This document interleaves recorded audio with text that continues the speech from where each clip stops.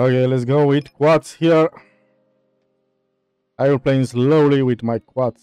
Only call, check. In three-way pot, maybe someone making a big bluff. No, only is a fold. Again, making a check. Let's see if that guy betting here. And the river is a ace. I will betting very small. I will taking any value. Call here. If that guy have a ace, maybe I taking a big call. Maybe big raise. Come on, you have a pocket six, maybe. Nah, it's not. Ah, easy pass for that guy. This dead card here with quads.